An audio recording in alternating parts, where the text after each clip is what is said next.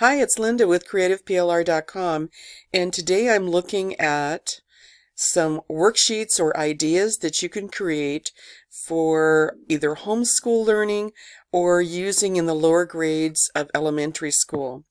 And basically, these are either math type worksheets or they're going to be English language arts or recognizing letters. So let's look at some math worksheets. So keep in mind that in elementary school, we're not doing calculus. So if you're thinking like, well, I'm not really good in math, I don't know if I can do that, I'm sure you can count. And so little children need practice counting, uh, counting items. So you make basic worksheets on counting and having them write the number.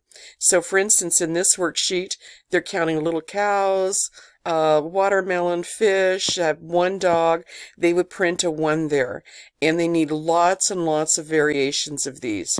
They also need practice with just writing the number. So you need tracing practice. Now, if you're using a font for this, um, Creative Fabrica has a great font that's called um, Tracingo, T-R-A-C-I-N-G-O and they also have letter a letter tracing font. That's what it's called letter tracing font. And it creates these lines and it gives you that middle line. And you can actually type whatever letter or number that you want in there and it'll get them ready. And that's what they use in the lower grades to practice writing, to get the number or letter the right size. So when you would be doing letters, you would be doing um, like a B would be tall, fill out the whole space. The bottom part of the B would be just on the bottom space. So they need lots of tracing practice um, identifying numbers, being able to find them, circle all the nines. So I did a whole series of these, one, two, three, four, five. I didn't do the zeros, I didn't do tens, uh, but you could do that. You could do them for upper grades where they're going, uh, the very smallest grade, pre-kindergarten and kindergarten, first grade, do 1 through 10, then 10 through 20. Um, they you could do skip counting where you do a page where it's 1, 2, blank, four, five, blank, and they would fill in the numbers that are missing. I've seen worksheets that go all the way up to 100 doing that. Um, so I've got, let's look at this one, different number sense, so variations of the numbers, so fingers raised, and all this is is just a an icon or a picture. Um, in, you know, there's um, there's just five of them, one, two, three, four, five, and then you put them together like you'd be doing on your hands. Um, circle a number, dice, if you can find dominoes with numbers on there, um, that would work as well. Anything that's numbers, so they recognize the numbers, and in this one, they're just drawing a line from this one to down here, to down to this finger, so they're doing that some more. Here's a count and trace. You could do um, themes of these. I have, I did, was in the mood, I don't know why, I was in the mood to do fish. So I've got a lot of fish activities and you would bundle these up in groups. For instance, um, I've got my fish counting and so there's fish here. They would count the fish and then they would circle the number. I've done several variations of these. And what's really nice is you create a template. And once you have your template, then you just switch out the items. Uh, for instance, I could have cats on there. I could have dogs. I could have farm animals. Um, I could have boys and girls. I could have school tools. I could have um, like cars or trucks. So you could have all different variations and kids need continual practice. And so a parent might be buying this for their child and then you do a different version and they would come back and they'd buy a different one. The kid gets to know, you know, the answer to this so they need a different worksheet to practice. And so here's one version where they just circle the number. Here's another version where you do the fish counting. You count all the fish that look like this. So here's one, two, three. Is there only three of those? That's possible. So I would type in a three here. There's this fish. One, two, three, four, five, six, seven. You want to vary the number that you have on there. You don't want to have six fish, six of every fish. Um, the kid would get the pattern after a while. That's not necessarily a bad thing. So that's a different variation of counting. Um, here's a different one. similar to the first one. I have the numbers here, but then they would uh, color. Let's correct that color the number of the fish in each box. So they would count one, two, three, four, and then they would color in the four. They would count here, it's either nine or 10. They would count that, color that in. And so they would do that. And then they would count and then trace. You could have another page where there it's all about one. You have a big one. You have them tracing the one all over. You could have a sentence that says there's one fish and they would have to un underline the one. Um, and so there's lots of variations that you can create for math worksheets. Now, um, if you purchased the, um, or if you have someone, and you know someone, that purchased the um, math worksheets that was out, I guess, some time ago, months ago, then you have access to these type worksheets. These are for not at the um, kindergarten grade or the pre-K. This would be like first or second, even third grade. Um, and you would, I didn't put a title or anything on this, but you would put a title on there, maybe name, and you put simple directions, you know, add, um, add the numbers and find the, write the answer in the box. Now, a couple little remarks on here.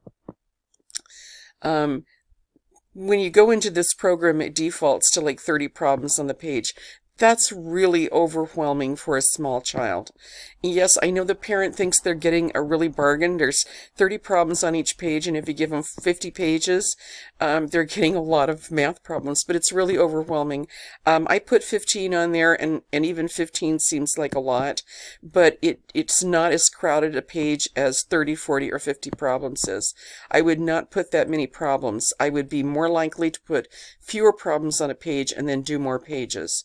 Um, believe it or not, uh, kids still learn about clock math.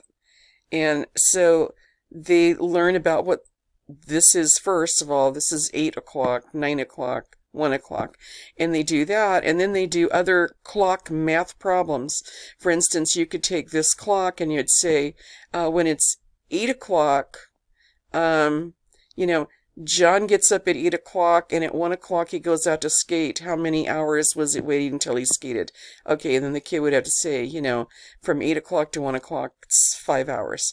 Okay, so there's all kinds of clock math, and you could do a whole bunch of worksheets on just using clock math uh, with little clocks. Um, Fractions are for older grades, and trust me, they need lots of practice on this. However, I do want to suggest that if you're using um, if you're doing the smaller grades like this, um, probably an answer key is just not that vital because I'm going to assume, and it could be a big assumption, but I'm going to assume that parents can do 9 plus 9 and 2 plus 9 and 7 plus 9. They can do one digit addition, which is what you're going to have in the lower grades, um, or, or even simple two digit addition like 12 plus 2. Um, when you start talking about fractions, you're going to need to include a an answer key. Um, I know my students are at the high school, they cannot do fractions. And um, and I've been in parent conferences where the parents say, he takes after me, I can't do math either. So I'm not convinced that parents, parents can do fractions. And um, I'm not convinced the parents can do um, percentages. So when in doubt, just put in an answer key. This is the answer key that comes with that program that created these worksheets. However, I would be more inclined to take that, take these problems, go in and add, um, add a text box, and actually type the answer in there. From you know you don't have to do them. You've got the the answer key. And and actually put the answers in context. This is very difficult for a parent to read especially when it starts typing page numbers. Um, they will print this out split all the pages together uh, apart and they won't have the page numbers there anymore. So that'll be very confusing.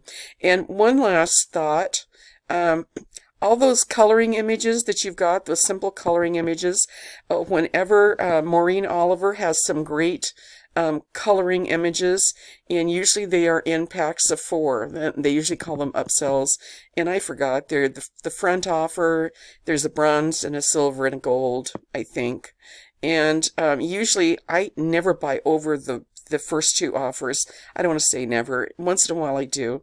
But the backgrounds are usually the second, you know, the, the second or the first upsell or the second offer.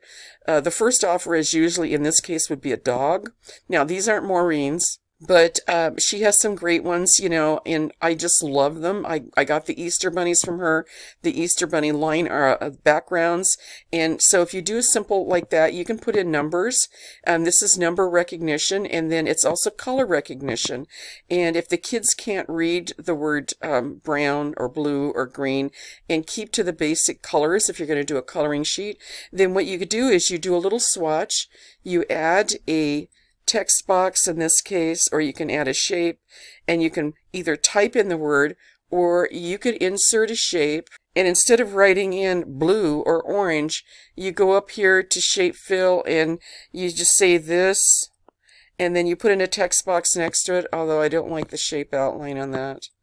Uh, you put in a text box next to it and then you would put in equals 3. Okay. And then obviously you make your font a little bit larger. And you could do that for all the colors. And I wouldn't get something, uh, you know, a design that's so detailed that you have 30 and 40 colors. One good way of doing this is to print out the page and actually color it yourself and get an idea. Uh, if you just randomly start putting in colors, um, you'll be off. I know I've done that. Um, so you might want to do that for younger children so they see the color and they don't have to read the word orange. So I hope this was helpful and you get started on some printables for school kids. Um, the very young kids, it's easy to do.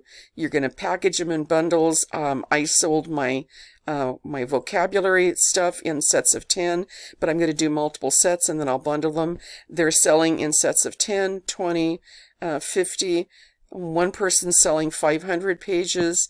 Um, that to me is a little crazy, but people will buy them.